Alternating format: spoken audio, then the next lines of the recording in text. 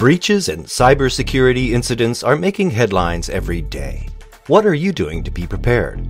Welcome to the Tripwire Cybersecurity Podcast, brought to you by Tripwire, the show that explores cybersecurity for the enterprise and how to identify and protect against cyber threats before they happen.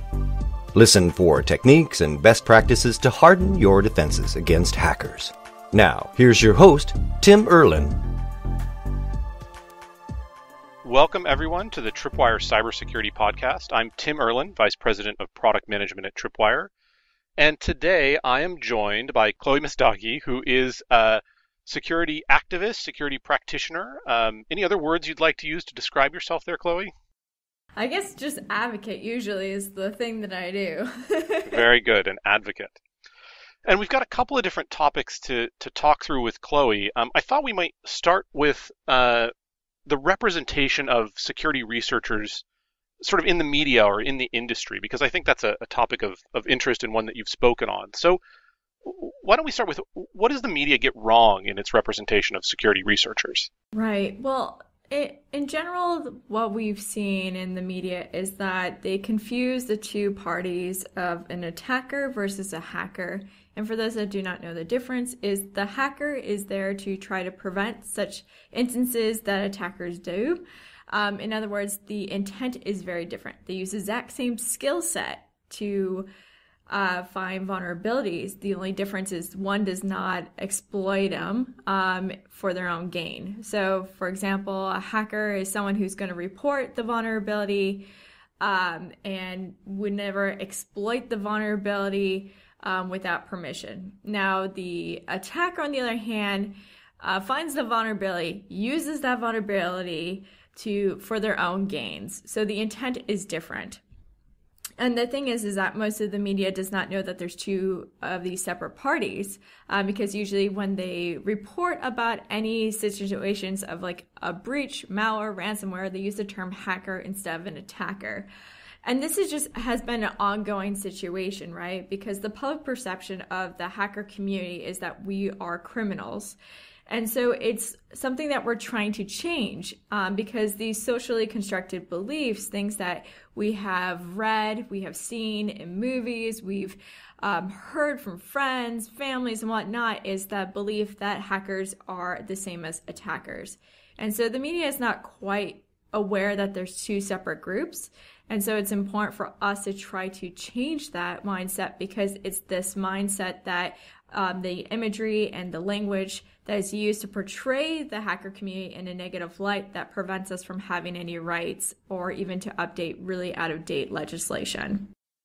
So you're, you're drawing a connection there between that, that representation and, and actually the ability to, to accomplish things, which I think is important. I don't want to lose sight of that. But, um, you know, we've used the term the media here, and I just want to pull at that a little bit.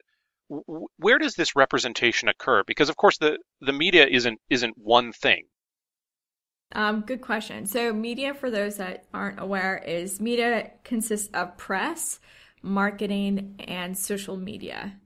So all of that forms into quote unquote the media.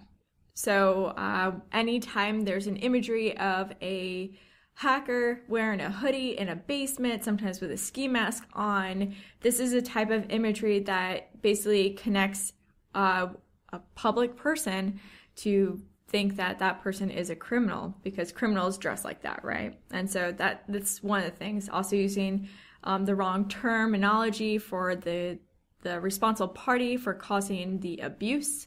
Um, that is another thing that we need to address. So the the press is a an area that I think we we can all sort of intuitively understand, right? You've got you know news articles, opinion pieces written about the industry. Um, some of those are written from you know sort of an industry perspective inside the industry, uh, information security industry, and some of them are, are more general public uh, pieces. You know, you might find in USA Today. Is there is do you see a difference in how the two sort of tiers of press handle the, the term hacker versus criminal or attacker?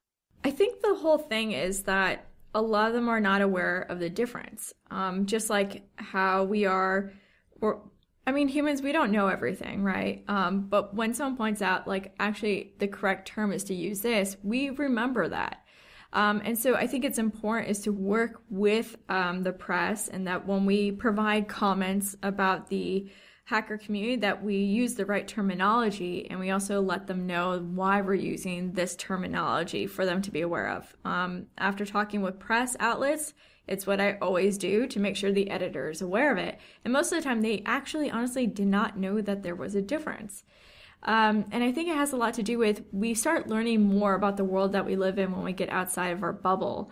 Um, in a sense that I don't think a lot of people have met hackers. And because they've never met a hacker in their life, they have these beliefs, these stereotypes that are very much real to them. Um, and I think that's that's the issue that we're facing right now is challenging these socially constructed beliefs of what is a hacker.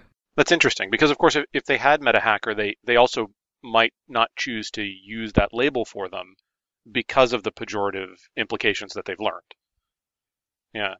So the the why it matters, I think, is important because you know there's a, certainly a a viewpoint that someone could take that you know this is it's just a word. Why not? Why do you need to use the word hacker? Why not just change your language and adopt something like security researcher instead, and let the press equate uh, you know hacker with criminal, and and be done with it that way? Why does it matter? I, I get this question quite a bit. Um, so one thing to keep in mind is that when we say hacker, we're also referring to so like um, security researcher or ethical security researcher or ethical hacker.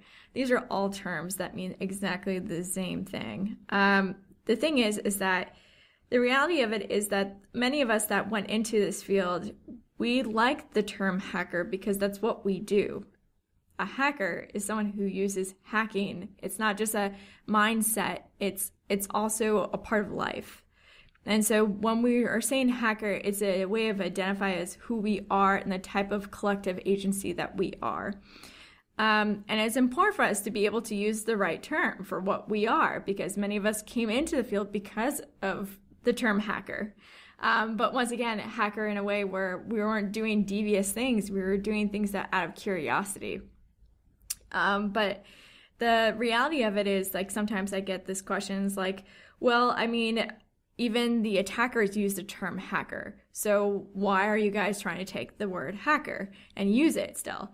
Um, and I always turn around like, well, there's a lot of attackers out there that also use the term, you know, security researcher, when in reality they're doing malicious activity. So in in reality, it's it's important to just know that there's these two parties that exist, and if someone wants to be called a hacker, then we respect that. Just like, you know, when it comes to any other thing, when we claim that we are this, we need to respect that as a community. And do you do you draw a distinction between the, the word attacker and the word criminal in in in terms of how they're used in the press? Um, I do use so for me, I interchangeably use it. So I'll say um, the attacker did the following things. Um, I will sometimes use the term cyber criminal, um, or I might use the term criminal, just depending on the situation. But an attacker is is someone who's committing a criminal activity, and a criminal activity is someone who's trying to do something for an ill intent. So that's how I see it. So a criminal is someone, for example, that uh, you know causes a data breach from a widely used kids product and puts all that data out there. That's criminal behavior. That's someone who didn't who saw the vulnerability, didn't report the vulnerability. Instead, they use that vulnerability for their own gain to sell it and to really abuse people's trust. It's interesting because what occurs to me is that the, the distinction here is really one of, of whether or not the activity that the, the individual is undertaking is, is a crime. If they cross that line, they're then a criminal or an attacker, and that that's an important distinction for for people to understand. It's like um, we like to use this um, this basically this other way of looking at it, I guess one could say, um, is that a locksmith versus a burglar, right? A burglar is going to use the same skills as a locksmith. It's just the locksmith's there to protect you from that attacker or that burglar. That's basically the same thing. Is using the same same skill set but for different goals. And uh, of course, a, a person could be both depending on the activity they're carrying out at a given time. Yep. I feel like yeah. it's a lot about when we, it's important to note that because There are people that wear, I guess, quote unquote, gray hats, um, but it depends on the situation, the background of the situation. Um, but I think the ones that, you know, Hacking is Not a Crime, which is the organization that I co founded, we're trying to work with those that feel guilty. In a sense, when people feel guilty that they did something wrong, those are people you want to work with because those are people that they feel that. There are attackers out there that don't feel guilty for what they do. Those are people that I don't know if we'll ever be able to work with. I want the people that, um, in a sense, that experience insomnia or concern when they report a vulnerability, that are concerned that they did something wrong. I want people like that because those are people that have morals. I think, I mean, that brings up an interesting point to me about how, if if the determining factor is whether or not the individual is engaged in committing a crime, then then you have to tie that back to what's considered criminal under the law at a given time.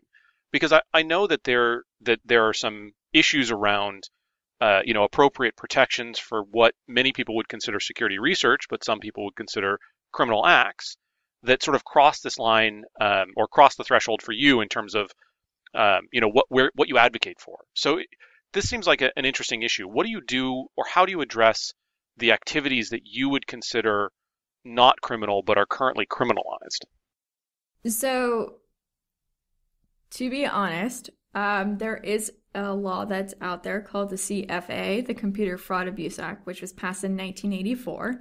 Um, but when it was created, um, interesting story, background here was uh, Ronald Reagan. He watched the movie called War Games, and he panicked. He panicked. He was thinking hackers are devious people, but the thing to remember is that whenever we have legislation that doesn't have proper representation of all parties that it would impact, then we're making a terrible, terrible mistake. Because the CFA, even though it had good intentions, the problem is that it prevents good hacking the same way that it prevents bad hacking. And we need good hacking um, to remain safe for organizations to be safe, for governments to be safe as well.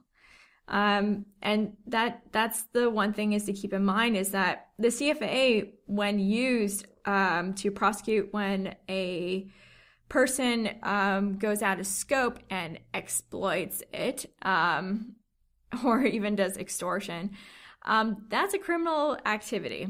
The the thing is though is that a lot of times the CFA is being used by private companies and also local government agencies to prosecute hackers that were doing things in good faith. In other words, trying to report a vulnerability, and what happens is that it's misinterpreted as someone who's trying to attack them, or in other words, they just want to just make the person quiet because they see it as a PR situation. Yeah, they feel like silencing that individual is is going to make the vulnerability not exist for some reason. Exactly. And this is this is the problem, right? Because the issue is that we are missing bilateral trust. Bilateral trust between the hacker community and organizations when it comes to reporting vulnerabilities. And that is a huge situation because you know, one out of four um, hackers will not report a vulnerability because they're afraid of being prosecuted or having companies get them lawsuits. That's a really interesting statistic. I- I'm fascinated by that because, uh, you know, I feel like this is an area where we've seen a lot of progress in the last, I don't know, 10 years even, where organizations are much more willing to, uh, you know, accept reported vulnerabilities. Many of them, it, from my perspective at least, many of them seem to have actual programs uh, and processes for uh, accepting reported vulnerabilities. Bug bounties are are something that exists now, uh, but it sounds like you're saying there really hasn't been, or there's a lot of more room for progress there beyond what what I see. A lot because right now the Forbes Global 2000 list um, only. this is the worst statistic of it all is that 94% of them don't have any vulnerability disclosure policies.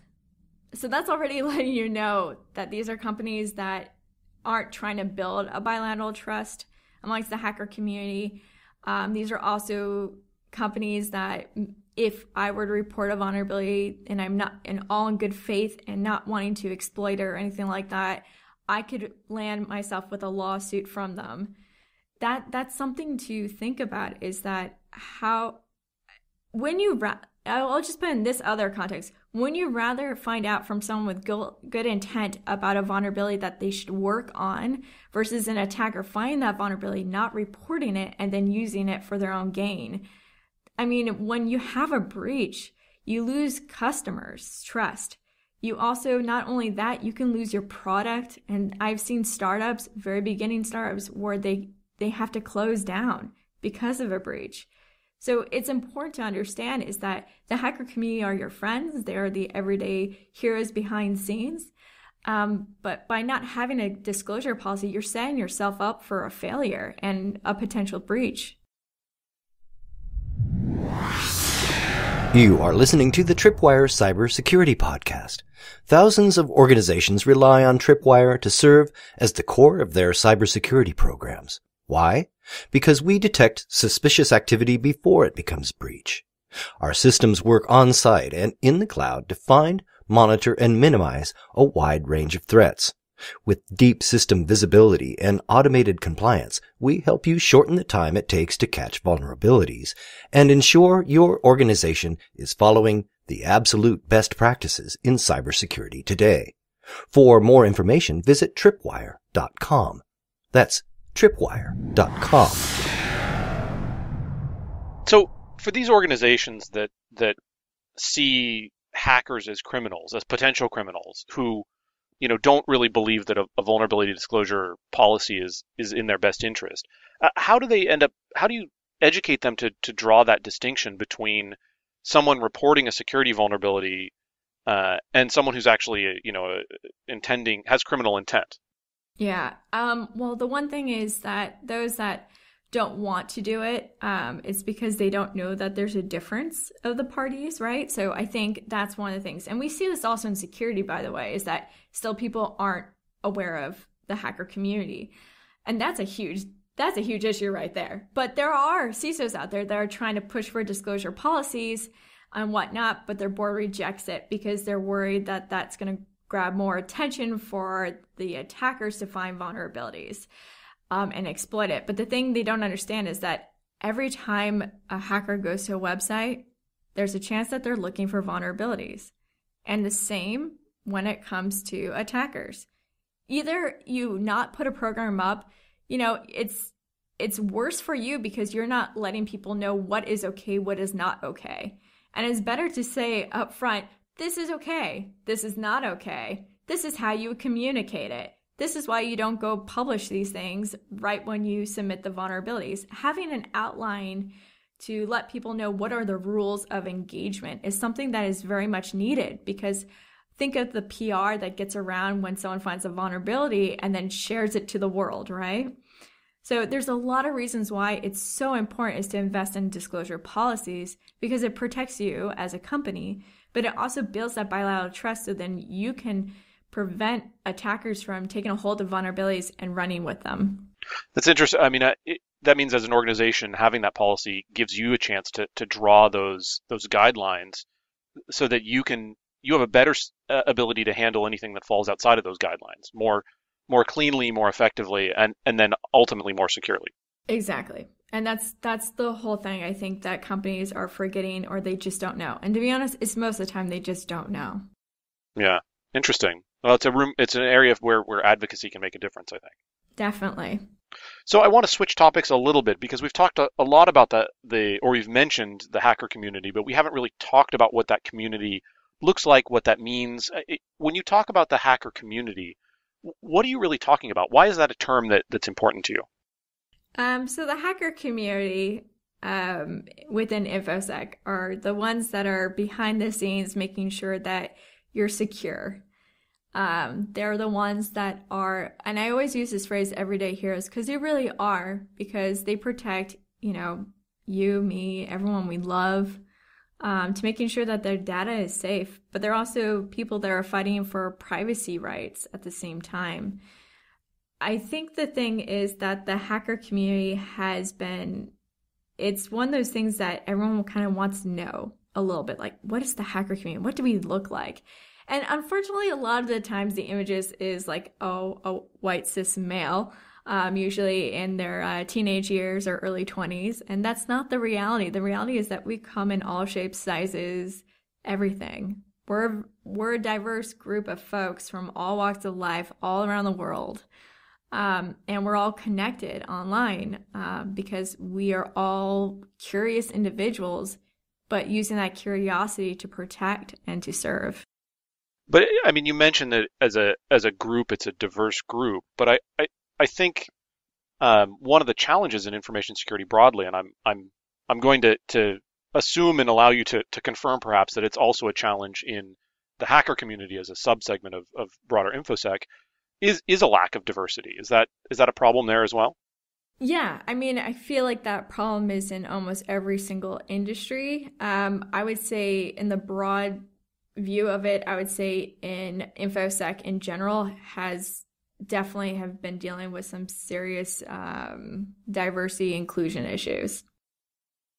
And it's a, I mean, diversity inclusion is an issue that's you know top of mind for a lot of organizations these days. Um, you know, based on on recent you know public events. Uh, but you, prior to some of those very public events, like the death of, of George Floyd, as an example, um, you had co-founded a couple of organizations um, focusing on diversity in, in the security space specifically. Yep, this is true. Um, back in 2018, I co-founded a organization called Women of Security, WOSEC, um, and also I think about, I want to say like eight, nine months later, I also created a group called Women Hackers at the time, but now it's called We Are Hackers. Mm-hmm. Um, because 4% of the hackers around the world identify as women. Um, and so that in itself lets you know we have a problem. So, yeah, 4, 4% is not a lot. Not a lot at all. Um, so, We Are Hackers kind of was formed because I wanted to challenge that statistic because I know that there were women all around the world, non-binary as well, that um, that it's hard. It's hard because a lot of these forms um, for bug bounty or uh, in hacking and whatnot, the thing is, is that it's it's a lot of men, a lot of men, and it can become kind of an issue because some of them don't know what's appropriate, what's not appropriate. Some actually do know what's appropriate and what's not appropriate, and it puts you in a situation where you'll uh, take a male's alias name and you'll use a male photo just to avoid these type of conflicts and situations from occurring.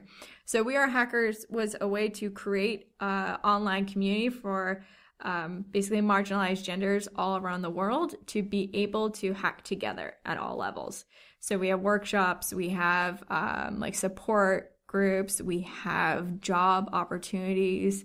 It's a it's a free free network basically for those that want to be part of a community and feel welcomed.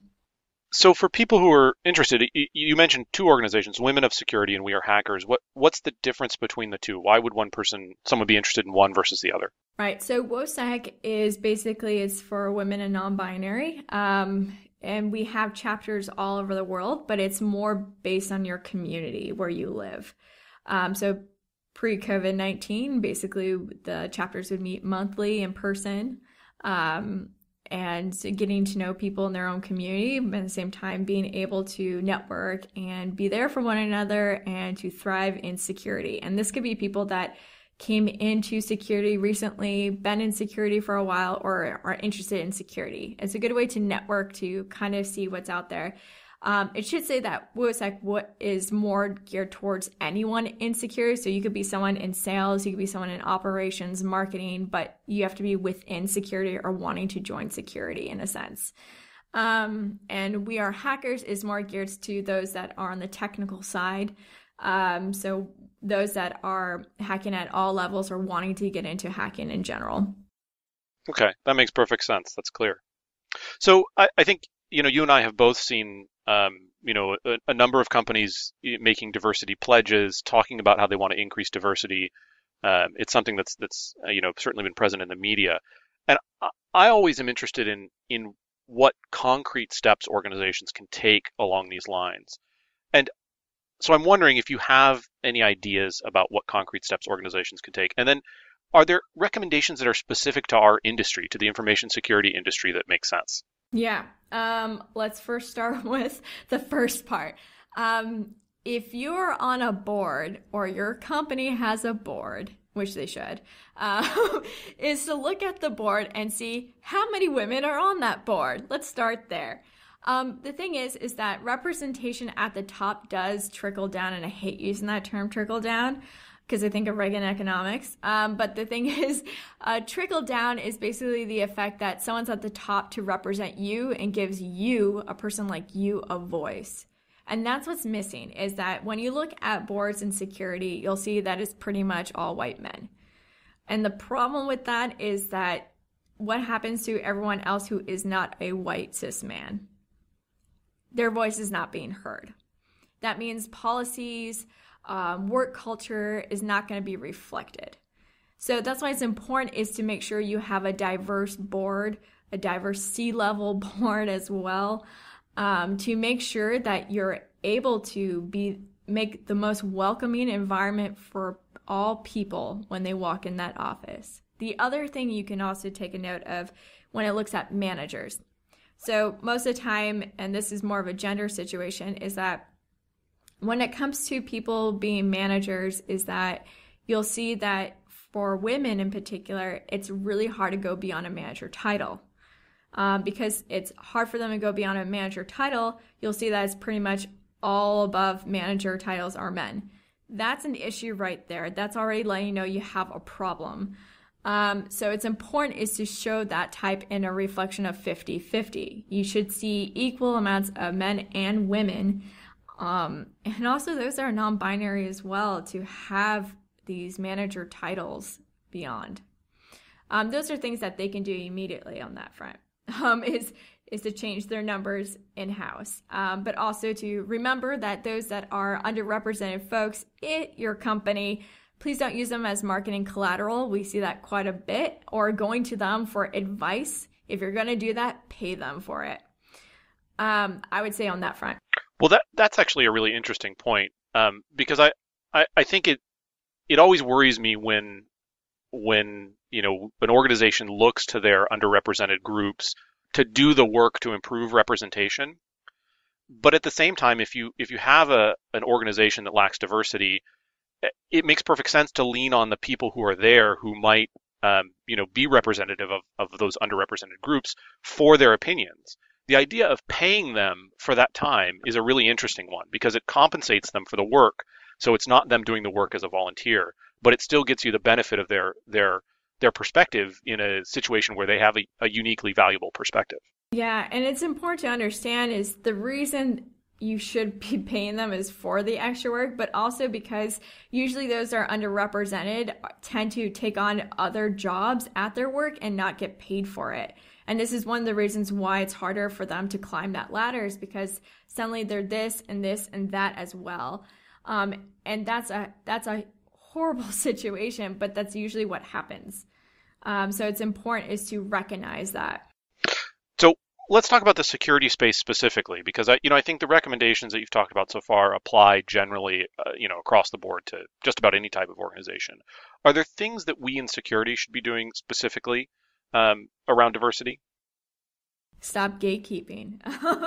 let's talk about what gate gatekeeping means. Yeah. Um. So gatekeeping is basically the uh, we could just start very simple. Um, when HR receives your resume, that they look at your name and look at other names and then be like, we're not going with this person because of their name, because there's human biases that exist. That's one way of gatekeeping is that. The other ways of gatekeeping is saying this person must have this number certs, this cert in particular, and this years of experience. If they don't, we don't even look at them. That's another problem because the reality of it is that a lot of people can't afford those certs. And because they can't afford that, it doesn't allow them to have that position. But I have to admit, research has shown over and over and over again that you don't need certs nor years of experience to prove that you have that ability to do that job. It's whether or not you have the skills to do that job. And in particular in security, certs, degrees, those those don't mean anything because in reality is how many attackers have certs? How many of them have years of experience before they took on the role of being an attacker? Honestly, it doesn't matter. At the end of the day, it's whether or not they have the ability to do it. So it's really important is to utilize tools and resources to test them ahead of the time and remove the names from the, the resumes so you have a really clear view of the person who's applying and seeing if they have the ability to do the job because that's all you're looking for is someone who's going to be a good team player, someone who's driven um, to do better, and also someone who can do the job that they're set out to apply to do.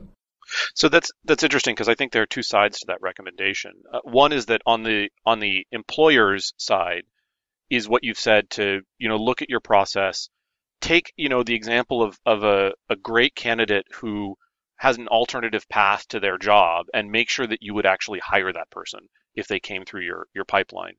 Um, I think in security that that resonates really well because uh, this is an industry where you know people come to this industry through all different kinds of of of of paths. It just it's a reality. But the flip side of that is that if you're an underrepresented, if you're a member of an underrepresented group, um, I, I've heard the advice. I've heard many people say certs don't matter in security. Yeah. But it, it feels to me like if you're an underrepresented group, you, you have to acknowledge that that in the hiring process they, they probably do matter. And so I wouldn't I, I'd ask you, would you encourage people on the employee side of it, not the employer side, to pursue those certifications as part of their their career or not? I think if you are starting out in this industry, it's very hard to get into it. I know as a um, someone who's trying to be a pen tester it could take up to two years to get a position. So certs allow you to kind of like open that door a little bit for you to even be part of that interview process if you have um, a lack of years of experience that they want. Um, I think that's definitely one of the things is to take into consideration. But honestly, at the end of the day, um, we need to do better in security when it comes to certs. Is that if people can't afford it, that shouldn't be the thing that keeps them out. We are dealing with a huge personnel shortage in security, and we need to fix that. There's plenty of people out there that want to get hired, but yet we are gatekeeping them from having positions. And sometimes when we put positions out there, uh, for entry level, they're not entry level because they're still requiring three to five years of experience, and but they want to pay you low. Um, so I think what we need to do is come together and you know separate little sectors within infosec in general is to work on that making it more accessible because we need to be more accessible in order to fix our personnel shortage also to make sure that people are getting hired that we're not practicing any discrimination practices because the thing is if a cert costs a couple thousand dollars chances are that person's not going to be able to get one. Um, and i think that's a huge problem right there is that we need to find ways to make sure that those people can get those certs where it's affordable for them um, because we want them. We want these people. Every every company wants new people and security. They want people that are driven caring have empathy um, but we're not going to get diverse nor inclusion if we keep practicing the same stuff that we're doing right now. Chloe, I feel like we could continue this conversation for a lot longer, but uh, we've we've kind of come to the end of our our time. Um, I want to thank you. I think it was really interesting, um, and I, I, hopefully an educational conversation for for all of the listeners as well. Um, so thank you so much for your time. I really appreciate it. Oh, thank you for having me. This was fun. And thanks to everyone who listened. Um, I hope it was interesting and enjoyable, and that you tune in for the next episode of the Tripwire Cybersecurity Podcast. You have been listening to the Tripwire Cybersecurity Podcast. Join us next time as we explore stories of people protecting people and techniques and best practices to harden your defenses against hackers. We'll talk to you next time on the Tripwire Cybersecurity Podcast.